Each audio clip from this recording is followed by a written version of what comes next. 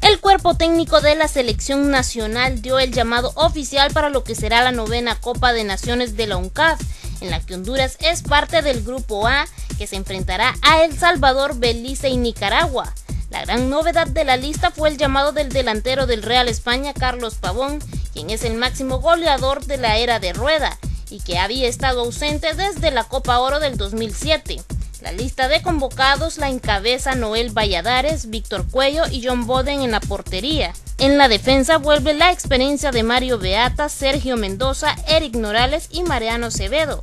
Otra de las novedades es el llamado de Mario César el Pescado Rodríguez, que le acompañará con Osman Chávez, Oscar García, Iván Guerrero, Mauricio Castro, Amado Guevara, Emilio Izaguirre, Danilo Turcios, Henry Tomás, Ramón Núñez, Emil Martínez, Saúl Martínez, Walter Martínez, Carlos Will Mejía y el antes mencionado Carlos Pavón.